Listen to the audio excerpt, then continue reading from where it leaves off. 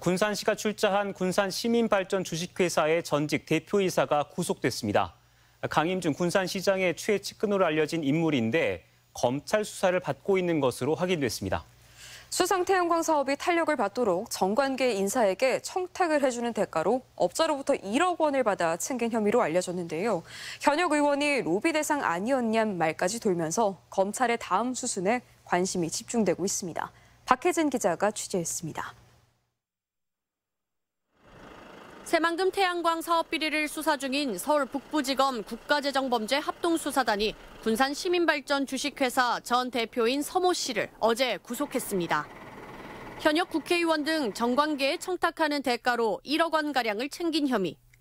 법원은 증거인멸 염려가 있다며 구속영장을 발부한 것으로 알려졌습니다.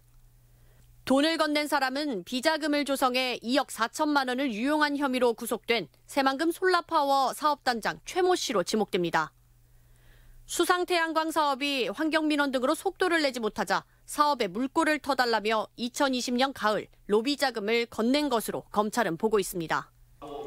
군산시 의회가 태양광 비리에 연루된 고위직에 대한 신속한 수사를 촉구하는 건의안을 정부에 전달한 지 하루 만에 시장의 최측근이 전격 구속된 겁니다. 서 씨는 군산시가 100% 출자한 시민발전 주식회사 대표로 선임돼 육상태양광 사업을 도맡았고 강임준 시장의 금권 선거 의혹을 무마하려다 징역형의 집행유예를 선고받기도 한 인물입니다. 대장님 9월에 사임하시고 연락도 없고 저희는 뭐 답변 드릴 사항이 없어가지고 서 씨가 실제 자금을 정치권에 전달했는지 여부에 수사에 초점이 맞춰진 가운데 군산 지역에서는 이미 특정 인물이 거론되는 등 혼란스러운 양상이 이어지고 있습니다.